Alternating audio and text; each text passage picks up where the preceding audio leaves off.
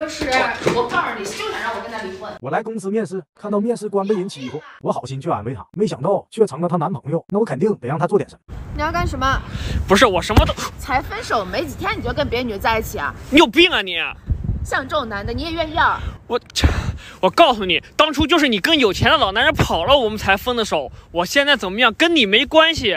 你自己没钱过一辈子，总不能拖累我吧？这么快就在一起，两个人都不是什么好东西。哎我，你自己拜金就拜金，谈恋爱是两个人的事儿，不是谁养着谁。你不要，我要，跟我走，上车。啊，那哦哦哦。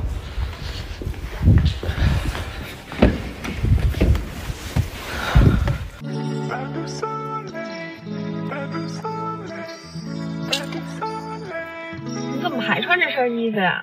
不可以射手哥哥，